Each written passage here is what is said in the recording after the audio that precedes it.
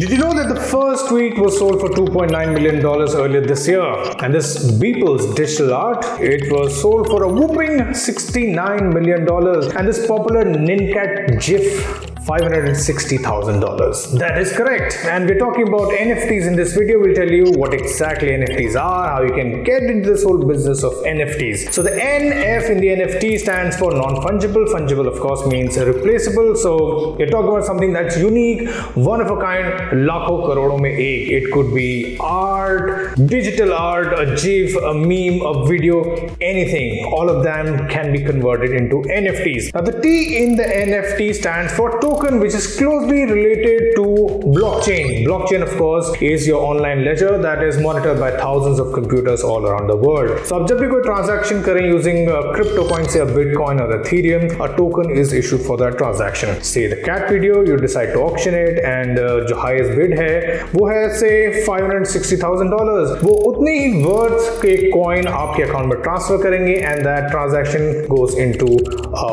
blockchain. Now the token that is a GIF is sold and a digital certificate is issued that is uh, verified by thousands and thousands of machines all around the world stating that he or she is the owner of this digital art piece. Now because this is a unique token of which there is only one that exists hence non-fungible token or NFT. Now NFTs are not new they've been around since 2014 and there are tens and thousands of them on the internet be it art, music music, games, GIF, memes, uh, anything. You know, all of them have been turned into NFTs. But uh, mostly in a digital world, most of these assets that are being sold as NFT today are available on the internet on multiple websites.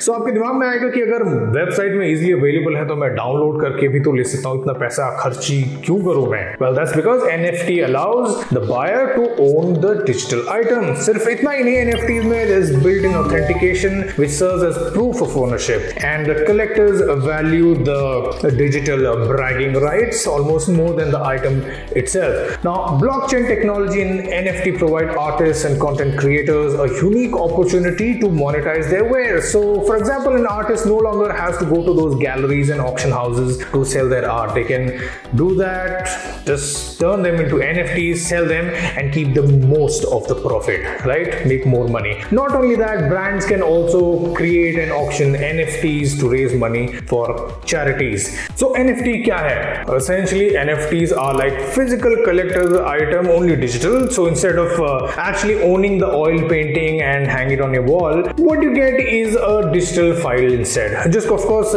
you can you know take a print out and again hang it on your wall so that's a difference and अगर आप भी N F T collector बनना चाहते हैं so you need to learn few things and know few things first and foremost you need to create a digital wallet जिसमें आप अपना N F T और अपना क्रिप्टो cryptocurrency को सिक्योरली स्टोर करेंगे next you will have to buy the crypto currency और crypto currency आपको वो लेनी पड़ेगी जो कि सेलर एक्सेप्ट करे right and then you have to look for those website that are selling those NFTs again the challenge with those websites that you have to sort of do your investigation and find out which one is authentic and which one is not right but then you have to be careful with your money as the nft and the crypto market इनका future काफी uncertain रहा है uh, there's no history to judge their performance. People have made millions of dollars. People have also lost millions of dollars. So just keep that in mind. Just be a little careful. Do your research. You know, read the offer documents carefully before investing. Terms and conditions apply. Thank you.